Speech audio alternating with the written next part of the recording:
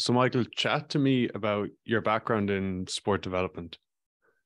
Uh, first of all, thanks for having me, Brian. Um, my name's Mike Feely. I am a sports development scientist. I graduated from the University of East London in 2012. Um, I got a Bachelor of Science honours degree in sports development, and basically, um, I went to college next to the Olympics, and and essentially I studied the Olympics. Um, from a governmental side, it would be you would call it maybe mega event policy and practice. Um, I was more focused on coaching and development and talent ID. So when I graduated, I did. Uh, I got a postgraduate certificate in performance coaching from uh, the University of Stirling because I was more focused on that. Just wanted to be a coach, but also what sports development talks about is um, in particular with the Olympics, was um, legacy impact. So, what do you leave behind when you have this event and you spend all this money on the stadium and um, bringing people there? You've got to make sure that they show up. The fans are there. So, so for example, the Blair government released uh, Sporting Future for All. That was a white paper that basically outlined what the Olympics was going to do for us and how they were going to back that up with government programs. And so you've got kind of the 30,000 foot view all the way down to the nuts and bolts coaching of youth programs to get kids engaged, how they learn, what coach and referee education pieces are there, um, all kinds of stuff like that. And originally, um, I mean, originally I went to school to be a PE teacher, but I coached a women's rugby team in Toronto. Shout out to the Aurora Barbarians. Um, and it changed my life. And so when I got back after my first year, um, I dropped out of school and transferred to go and do uh, sports development at UEL. And um, I've been very fortunate. I've coached a lot of men and women's teams in the southeast of England, um, coached in Toronto, and um, coached here in Colorado.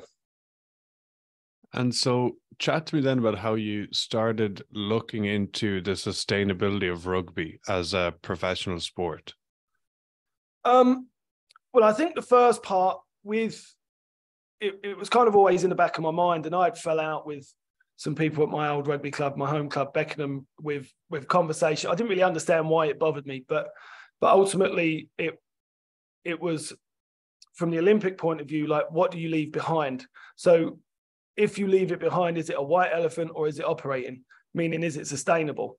And so when you look at the Olympics, they create the event and they create all this programming and infrastructure to support participation growth because participation leads to fandom, um, stuff like that. And, so then it was like, well, if the government isn't going to pay for this all the time, who is going to pay for it or how can we pay for it ourselves? And, and kind of what, what happened when I came to Colorado, I, I coached the Glendale Raptors women in 2014. Uh, we won a national championship and I asked for a, for a, a proper salary. I mean, I wasn't probably the best person to employ at that point anyway. I was drinking and just not in a good good headspace, so I don't really blame them. But the response was that women's rugby isn't commercially viable, and so that's why I wasn't getting paid to do the same work as the men the men's coach. And um, I just walked away and examined that thought and and or that that belief, and and what I concluded was the men's rugby isn't viable either. Um, and there's lots of reasons for that, but ultimately, I think the biggest part is we just spend money as a community, as a marketplace, um, as people in rugby. When whether whether we're we're members paying dues or or membership to your club, if we're buying kit and equipment individually or as teams or as clubs, all it does is is that that money just leaves the ecosystem. You might get a little bit back in terms of sponsorship or some sort of discount. There's a lot of kit companies that do club shops for you and stuff like that, but but at the end of the day, that's something that you should sell yourselves. And that was what I fell out with one, one of the guys at my club about was why are we giving away the club shop? We haven't given away the club bar. And it's the same principle. It's just a different revenue stream. So once I sort of started thinking about past experiences and, and things that were going on in general and trying to tie that back to, well, why isn't it viable? What would make it viable? And revenue is ultimately money. What makes it viable? I started to examine where we were spending money, and basically I came up with um, the six pillars of revenue. Now there's actually eight, but I think that um, seven and eight are more assets and not necessarily revenue specifically, which would be data and land. But um, the six pillars of revenue, first and foremost, is membership dues. Second is KEMA, which is kit, equipment, merchandise, and apparel. Um, third is uh, concessions. Then you've got advertising. Then you've got gate receipts and events. And gate receipts and events are, are separate because all games are events, but not all events are games. So it might be if you've got a stadium, you can have like Twickenham, for example, they have concerts. And so it came down to just sort of breaking it down into how can we group these categories and then and then looking at well, who's supplying those particular categories and stuff like that. And advertising includes sponsorship. More than anything, it's sponsorship. Um, but it would include like web traffic ads and stuff like that as well. People are monetizing digital media more than ever. So that kind of all wraps into it. But but what I found was we don't own any of the supply chain. So so when you think about like a Michelin star restaurant and their farm to table, they own the supply chain. They've they've invested and partnered with the guy that's growing the the crops that feed the cows. They've invested in the guy that's raising the cows, and then they've invested in the guy that's butchering and processing the cows, and so on and so forth. So like really that sort of farm to farm to table concept is about owning the supply chain and, and guaranteeing quality versus quantity. But if you take the same principle for for for sport, um, you know, just by participating, we already create a demand for the products we need just to play the game. So I use the example to play golf, you need golf clubs. So if you're creating a, a demand for people to play golf, you're creating a demand for golf clubs automatically. It's called the participation demand product demand continuum. And I'm probably racing ahead, but but basically it's a continuum because one automatically leads to the other. And the follow-up is if you've created that demand in a capitalist society, you're entitled to capture the revenue from its sale. And we don't. We let someone else sell it for us in return for uh, a poor licensing deal or or an undervalued sponsorship. Yeah, so you're saying that people who are playing rugby they buy gear from Nike or Adidas and these different places, and that money goes off to that Adidas Germany, Nike America, and we buy our boots there as well and all that.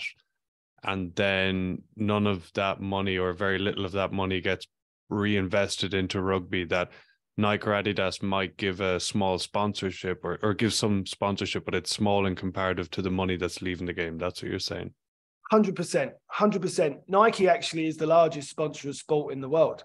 They spend six hundred million dollars a year on sponsorship, but they do that largely with like you know star athletes because then that convinces the rest of us. Oh, we've got to have that you know shiny new toy or keeping up with the Joneses, whatever you want to call it. Um, you know, it's no secret that star athletes are used for endorsements to sell products to us, Everyone. basically. And so, you know, that's one of the things I've always I've been trying to put out in terms of America. Um, when I was 14, I was water boy for a second team game at Beckenham. And we had a guy playing called um, Nathan Bombrys. He's actually the CEO of Rugby Canada now. Uh, used to be at the Worcester Warriors, uh, Glasgow Warriors. Um, and I remember my mate saying, "Oh, he's from America, and they're the sleeping giant." And I just, I've always been fascinated with that that whole concept, you know, even when I was doing my studies, a lot of my friends went to Australia and New Zealand, but I always came to North America. Um, but like the sleeping giant isn't their athletic ability; it's the consumer dollar, and it's if we can harness that, you know, when they look, and it, it's, it's absolutely the dollar because look at all the American money that's coming into into rugby now, with people trying to invest in the URC or or Premiership teams like like Worcester. They're backed um, potentially by American American financing. It's no different from say Todd Boehly just bought Chelsea. That there's a lot more venture capital and a lot more interest in putting that venture capital into sports franchises from the US than a lot of other places. Um, you get the Middle East even. You know, we look at this uh, Manchester City foot, football group and stuff like that. But at the end of the day, what I what I realized in thinking about the sleeping giant or waking the giant or whoever that might be it it came down to it's us. We're the sleeping giant, the people, and it's the money that we spend and what do we spend it on and how can we capture that and how can we point it back at something that would be useful to ourselves versus um, just keep giving it away. And and one of the reasons I opened my pub, McMullen's, was to sort of prove that concept. And we were cash only, and we got a lot of stick for that. But the idea was the principle that when you buy a drink and you pay cash at a bar, you get change. That change is leaving the cash register, right? And when you leave a dollar or two on the bar as a tip, that's money coming back or not leaving at all. And the way that tipped employees work in the US is that if it's 10 bucks an hour minimum wage, but you've made 10 bucks in tips, the business doesn't pay you 10 bucks. You've made your hourly rate through service. And so basically, all the money that is leaving, the change, with a tip coming back, is no longer leaving. And that $2 that comes back every time someone gets served a drink or a dollar, as long as it meets the minimum $10 an hour, well, that's then subsidizing the cost of the operation of the business because I don't have to pay that 10 bucks in wages. They've already made it. Does that make sense? How does that relate to rugby? So, coming back to owning the supply chain and all the money that we spend, if it's money coming out of the till or it's money coming out of our profit, out of our pocket, if we own part of the company that is supplying us, or we own all of the company that is supplying us collectively, then that profit is ours. So at some point, so, it's coming back. So you're saying, say, like the likes of the RFU should be should own their own uh, merchandise company or yeah. like their kit suppliers. So the England Rugby and the different rugby unions should have their own brand and they should sell all the shorts and socks to all the clubs in the country to every uh, mini youth uh, grassroots player and they should all buy England rugby gear versus Adidas or Nike or Puma or Umbro or whatever. And then 100%, yeah. Then yeah, so then they own the supply chain in that regard. And I get you. And then so moving it on. And it wouldn't be an England jersey. It's not about the logo on the. Oh left. no, I know what you mean. I know. I know what right. you mean. I know what you mean. So it will be say like England Rugby set up a kit company called Eor Eor or something or whatever. And it's instead of Nike, it's whatever. They set it up and they build warehouses and they do all of that jazz. And then and then they get that. I get you. So chat to me a bit about so uh one or two of your posts about um the how rugby isn't sustainable and something that me and just a lot of I think a lot of fans and people on the outside looking in are are thinking we're seeing clubs go bust. So we're seeing Wasps, Worcester go under. USA Rugby went bust as well. And then there's lots of unions that are in that are struggling, right? Yep. And there is a lot of talk about how attendances are going down. I remember there last year, like seeing the Millennium Stadium with just loads of empty seats for an international. That Friday night game. Yeah, whereas that just that wouldn't have happened. Yeah, so that just wouldn't have happened. So um, you teams are going under. Uh, there's fewer fans in the stadium, yet every year players are signing bigger, bigger record deals. So players are getting paid more and more and more, and it just it just doesn't make sense, really.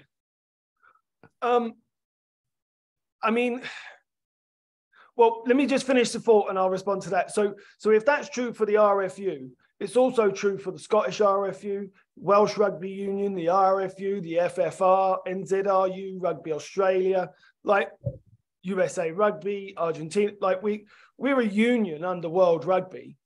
Like we all have the same issue, and it'll it'll benefit all of us in the same way if we just collectively shop and do business and, and own it together.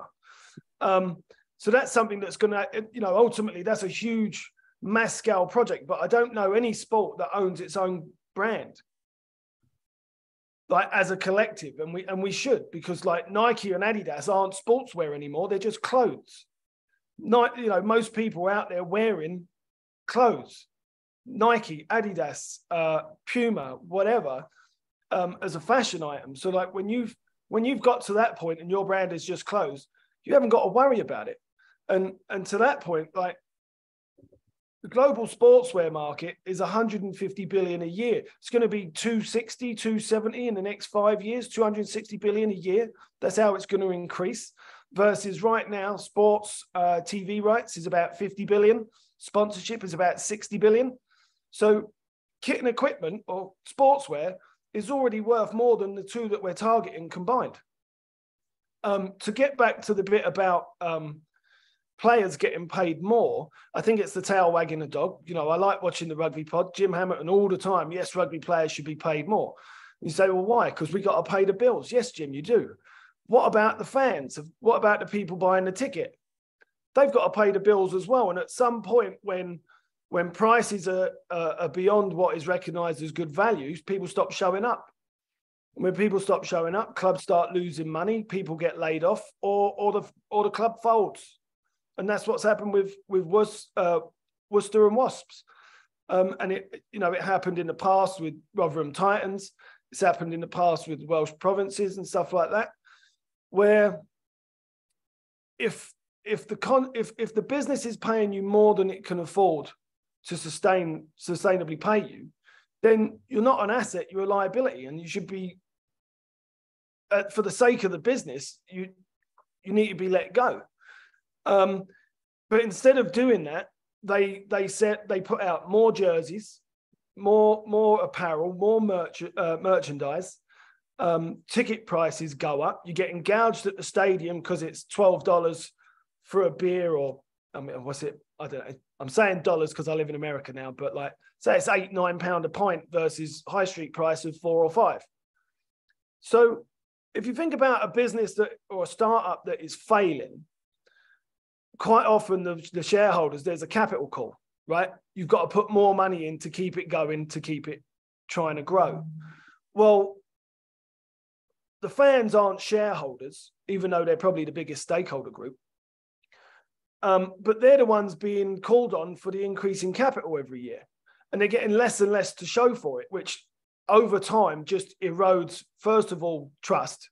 Second of all, um, the value proposition. So when you're sitting at Twickenham watching England versus Argentina, it's a good game or a boring game, depending on your perspective.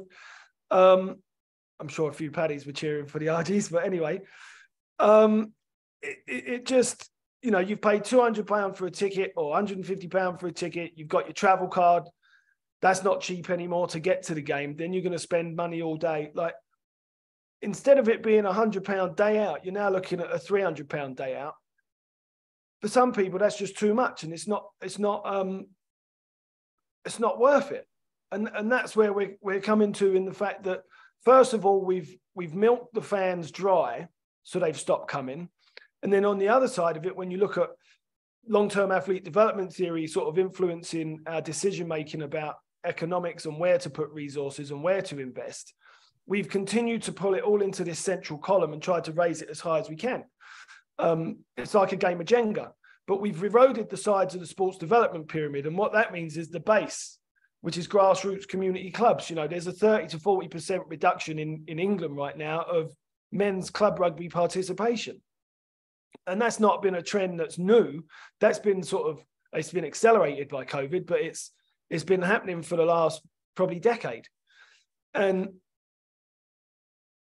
where winning becomes the focus and match fees and in bringing in foreigners and stuff like that, even community clubs are are not really doing a good enough job of sustaining and promoting the youth that are supposed to come through in the first place.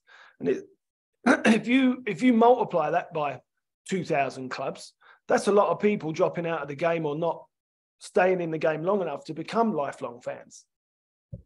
So, like, we, we need to do a better job of, of getting more youngsters playing.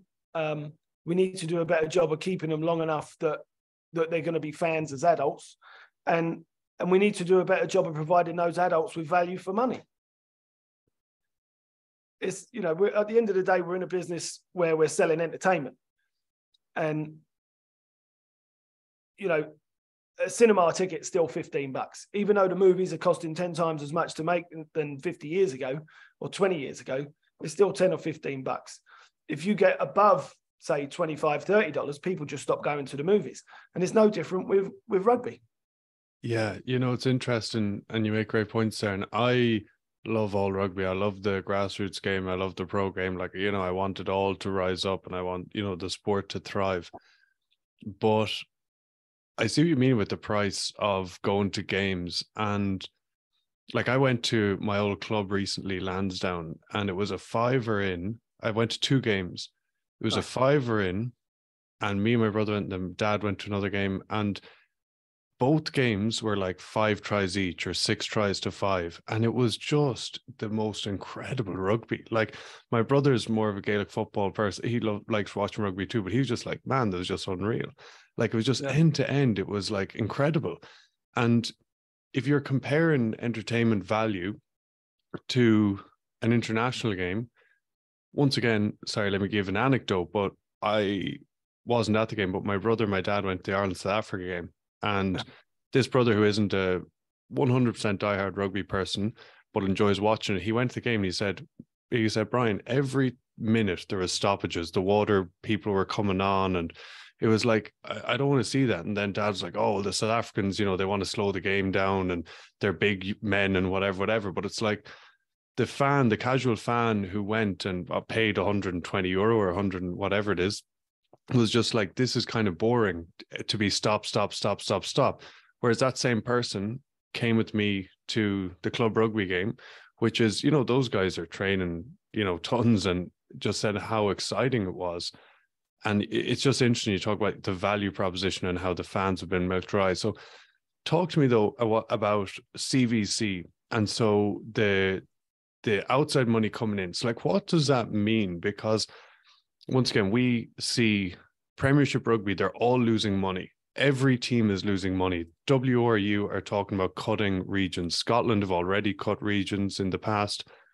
The Prem, I think Exeter used to be the only team that are making money. I'm not sure if they still are, but literally just every team just loses money every year. And now CVC, this um, big venture capital firm, are buying up parts of the Premiership. They're buying up uh, the Six Nations. They're they're kind of buying it up. So what does that mean for rugby, and what's the story there? Um, I, it means we as a community own less of the thing that we built. Um, I, I, I personally, I'm, I'm, look, I'm not against making a profit. We need to make a profit so that we can reinvest and grow. That's just necessary. But um, I'm I'm disappointed with the way that um, private equity has been courted and and sort of delivered to the game. Um, CVC invested. They own they they own 27 percent, I believe, of um, well, it was Pro 14, which is now the United Rugby Championship. They own 27 percent of Premiership Rugby.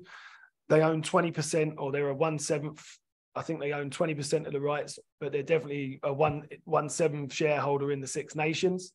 Um, Silver Lake own, I think, 12% of the All Blacks commercial rights. Um, you know, for 100 years, the New Zealand rugby community has supported and invested in New Zealand rugby to produce All Blacks, whether it's a volunteer sweeping the sheds at a local club, they're contributing to the All Blacks right? And they, that's that's gone on for hundred years, and because it wasn't run properly, and because the union needed money, they've sold something that really didn't belong to them. It belonged to the members, and the members should have been asked, but no one asked them. They asked they asked the membership in terms of the provincial unions or the provincial unions leadership.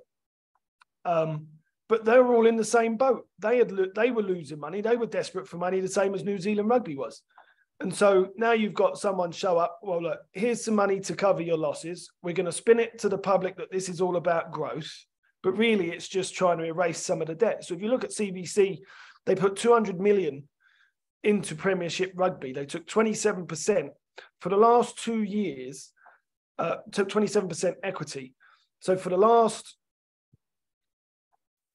I think what I can't remember the article where I read it, but it was basically 300 million pound losses over the last six years. That's the Premiership rugby. Um, you'll notice that that's coincided as well when they expanded the salary cap and and the number of marquee players, um, amongst other things. But basically, that's a fifty million pound a year loss, and and that's consistent. So for six years they've done that. I don't anticipate that changing. For the last two years, um, roughly 27 million of that 50 million pound loss was money going back to CVC. So the way that and and and a lot of people were sort of like, oh, look at what they did in F1 and this, that, and the other. But um, there's also some criticism of CVC in terms of what they did with Formula One. And not really asset stripping in the traditional sense, but sort of partitioning, as in they've got their chunk of equity, right? That 27% will never be owned by Premiership Rugby or the clubs again. Um, but for 200 million, uh, 27 and a half million return for the last two years. If they do that for another six years, that recoups the 200 million dollars or 200 million pounds. It gives them a 10% return on 20 million of 20 million on top of that. Plus, they still own the 27% equity, which they'll then turn around and sell. In the meantime, Premiership Rugby and the clubs are still losing 50 million a year. So in eight years, CVC will have recouped the 200 million plus 10% plus 27% equity. At the same time that that happens, the Premiership clubs, assuming that they still lose 50 million a year, will have accrued another 400 million pound in losses. That to me is not a good deal. In any way you shake it, and and the fact that you own less of your assets that you're trying to increase the value of to recoup the revenue, um, just makes it more difficult. So they either undervalued it, meaning they, they should have given them much less equity, or they should have asked for less money to give up less equity to give themselves a better chance to, to be able to pay it off or buy it back out and so on. But they, they're never going to do it. And, and that is because they're not targeting all the revenue streams that are available to them, that they're, they're overly reliant on one or two. And, and like I was telling you off, off recording, like with my pub, once you're overly reliant on a single revenue stream, your business is really going to struggle. Yeah, and I think it's just it seems like you know keeping up with the Joneses that none of these unions are willing to um reel it in a little. That it's just you know spend more and more and more, and you know, I wonder, I don't know, Japan and France are often talked about because there's so much money there. And I think for, I don't know, but I, it looks like France kind of do it right, or they've got a big TV deal, but they, they've got lots of um, support. They seem to fill out stadiums a lot. Um, I think France do okay, but then the likes of England and these other places, um, they're just spend more and more and more to try and keep up with the salaries in France and Japan and then just go bust. Mm.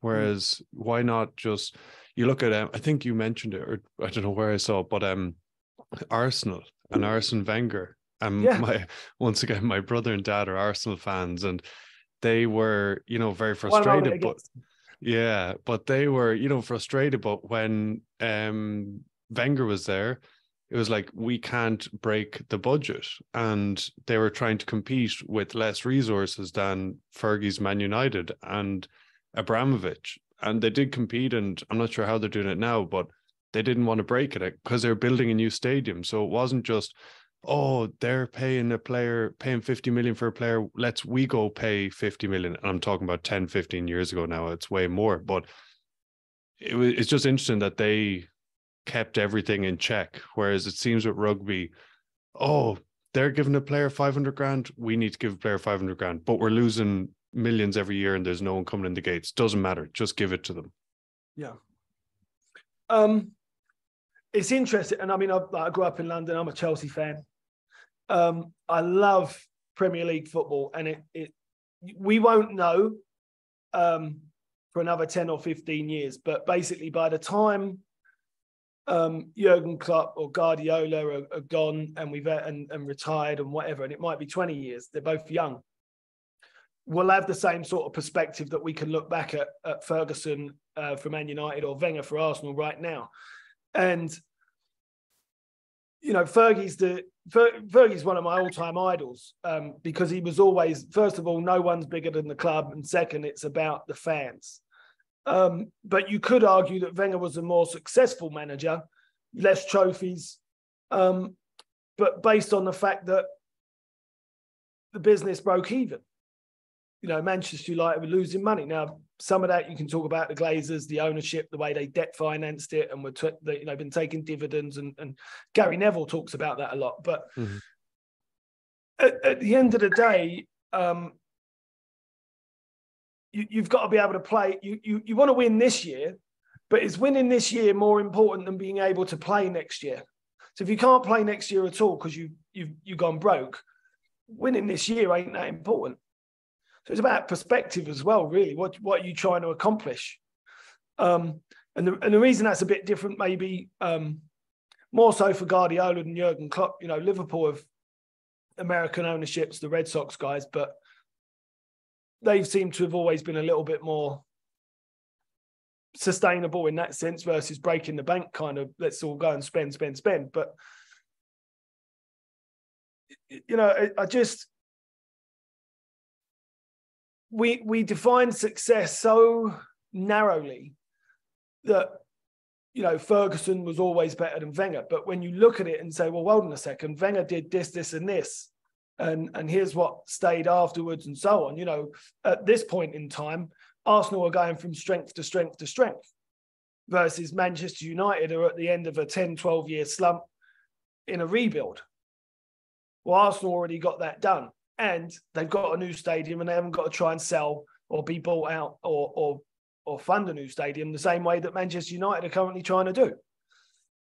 Yeah, I, I just see a lot more problems for Manchester United uh, in the in the coming years in that sense than versus say Arsenal. So it's cyclical, and and it's also just you know how we define in success. I think we we we've got too narrow a vision of that.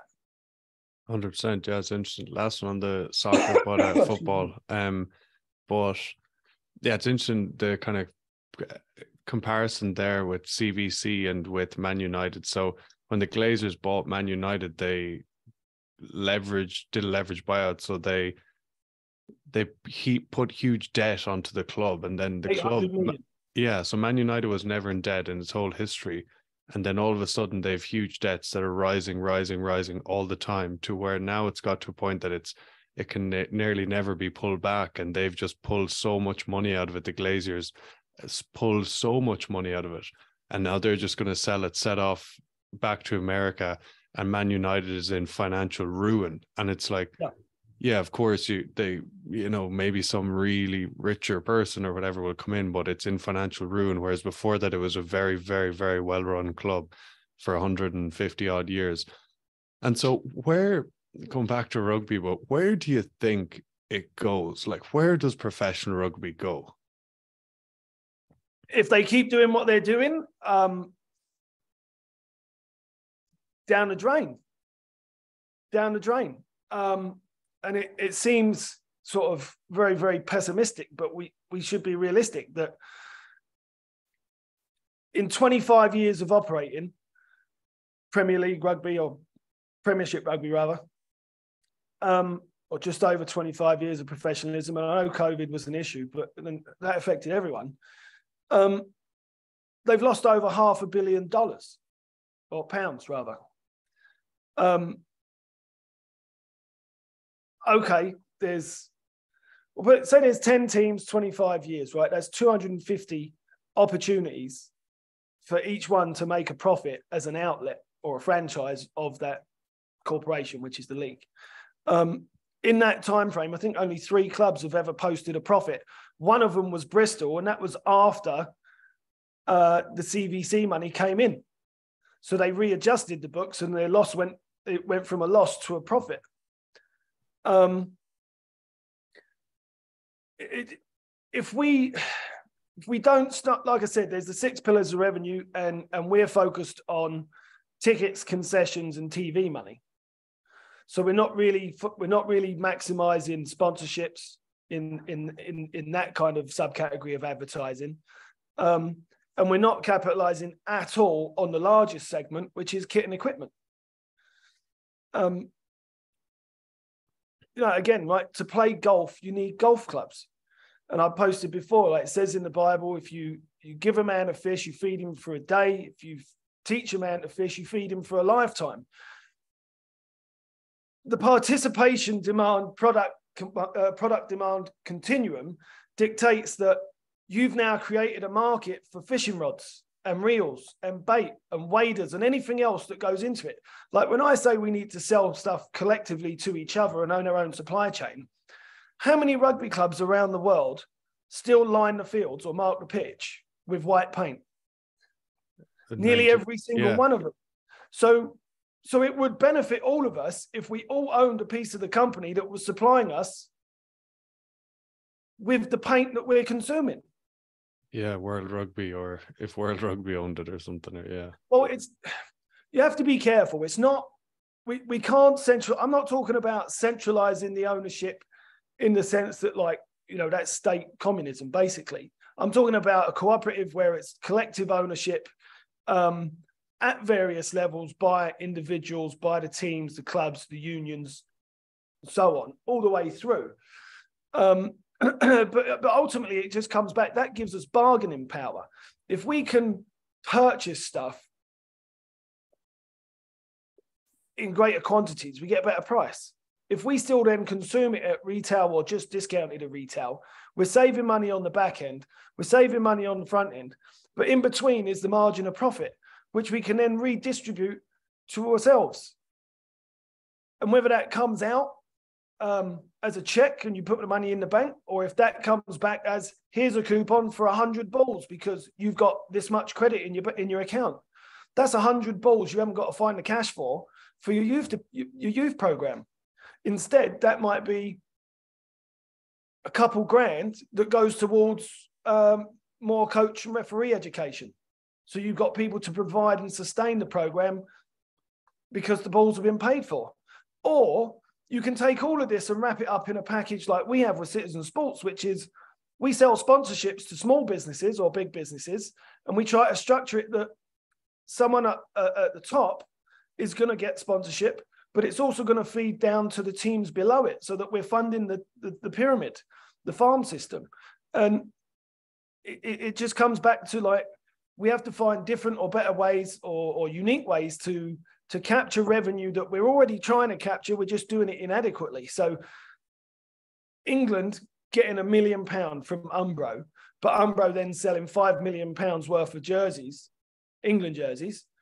Um, what's better? Yeah. Because because Umbro isn't paying five million pounds for those jerseys that they sell. So somewhere in there is profit. How much and, and where it comes from and where it goes is up to us. But we're just going along the same way, the same way, the same way. It's like the economy, right? Boom and bust, boom and bust, boom and bust. We get milked, it falls apart, they give a bit back, we start again. It's like a game of Monopoly that never ends. Yeah, it seems it seems with professional rugby just that yeah, if it keeps going the way it's going, CVC alone 100%, and the are these companies alone 100%, and then there'll be a complete disconnection from the grassroots to the professional and it could go kind of like the NFL and and while that might seem somewhat cool or F1 but we all started playing rugby at our club and in our school. And I don't think it's great that you can see it the disconnection between professional rugby and the grassroots game, it is getting more and more. It is becoming more disconnected, I think. And yeah, then like you say, with grassroots numbers going down, and if if we keep going the way we're going, yeah, CVC own 100%. They can milk it as much as they want. And then the grassroots goes down and down. Then all of a sudden, you have nobody playing, like NFL again. Yeah, you have nobody playing rugby after the age of 22 you or uh, you know you go to college you play rugby or if you don't make it at 18 you stop playing rugby and that's kind of happening but yeah it's it's it's not good um it really I'm glad you brought up the NFL because a lot of people talk about it all the time and look how much money they're making. Again, not understanding all the revenue streams that are available, not understanding the context in which they operate, sports structures, commercial structures, or anything like that of the US. Um, the NFL isn't responsible for a single piece of its talent pathway. So community programs like we have Pirate Youth Sports. We we we started a pilot rugby program. They have a flag football program. It's all run by volunteer parents, paid for by the parents, so when kids show up, etc. That's elementary and middle school level. Um, of those kids that are active at that age group in all sports, 70% drop out by the time they get to middle school, which is about 12, 12 years old. Excuse me. Um, so then all of a sudden there's great narrowing of, of participation, huge reduction. That would be a good spot for rugby to target is, is middle school. We don't necessarily need the six year olds. Let's go pick up the 12 year olds that have already had enough with all the other sports. Um, and, and I've always said like rugby is a second or last chance for Americans or North Americans to participate in meaningful amateur competition because we say, yes, you can play, not sorry, you're not good enough. Um, but that's what happens in, in, in American sport. And so when you get to um, high school, you have junior varsity and varsity. So of, of a school of say 2000 kids, you might have 50 guys on the JV and 50 guys on the varsity team. And that's it. Everyone else is there to watch. This is also why Americans are so fat. We're a nation of spectators. We don't take part, we don't play, we just watch and consume. And there's all kinds of ways that's been monetized and that revenue gets captured.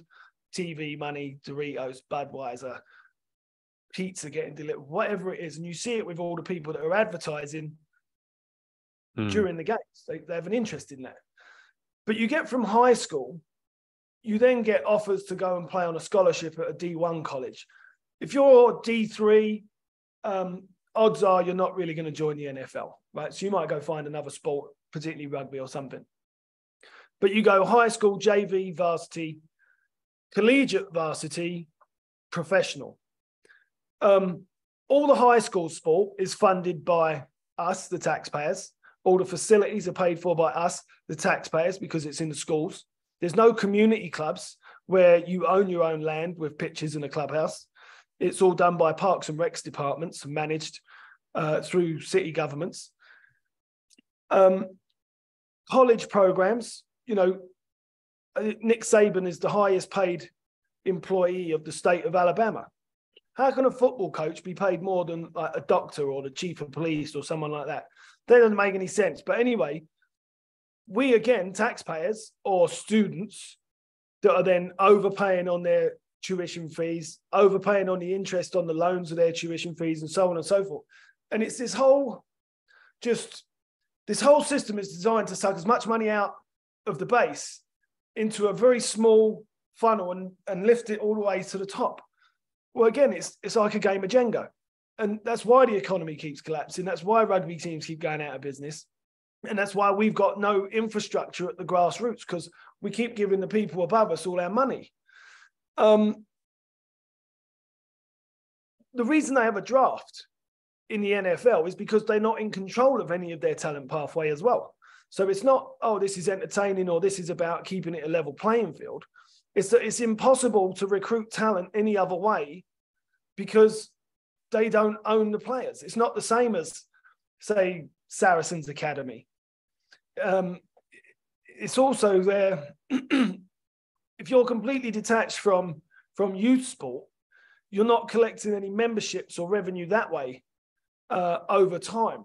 So when you get to the when you get to the NFL and when you get to a game, you have to extract as much as you can in as short a time as you can.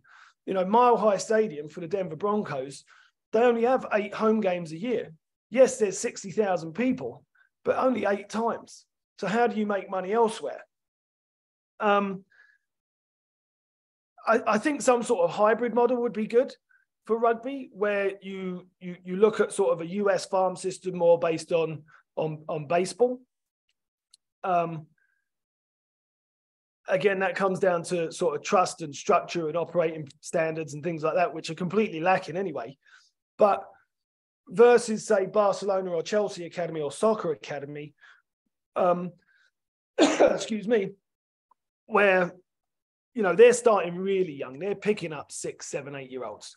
I think that's too young for rugby. I don't think you, I don't think that's necessary.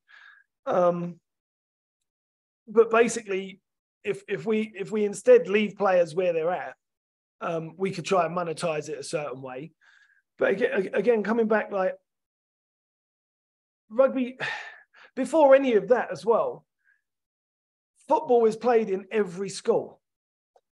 High school, right? American football is played in every high school. Rugby isn't played in every school in England. Rugby isn't played in every school in Ireland. So that's something we need to fix first because you've got to have that base. And, and if you look at um, the, the total number of football clubs in England, it's about 40,000 versus 2,000 in, in uh, rugby clubs. Like, we're nowhere near. So we shouldn't even be thinking about stadium sizes, salaries, um, endorsements, and things like that uh, that come close to football, soccer, um, unless we have some sort of model that that connects everyone. And I think that when we talk about the NFL, we completely misunderstand the structure that makes it successful. We completely misunderstand the context in which it operates. And it's a pipe dream. We need to do our own thing and find solutions that work in, multiple ways. it's not um, it's not going to happen overnight either. And this is where they keep going for TV money, the quick buck, and and versus the long the long play, which is investing in the grassroots. Yeah. I waffled a bit there. Sorry. No, hundred percent. And where you got to there, um, I think that's what everyone everyone thinks is what needs to be done is the investment in the grassroots. Yeah, is getting more people playing, and that's where you know you mentioned at the start the volunteer sweeping the sheds with the All Blacks analogy, and you go to clubs like there's incredible volunteers. Like even I see my local club, and um, yeah, it's that's the work that those are the people that need to be supported more and more, and to get people out into the community to get people playing rugby, and yeah, those people need to be supported more versus like a player getting paid a million pounds. You know, a player, yeah, a player getting paid a million pounds, like, is it not okay to get paid 500,000?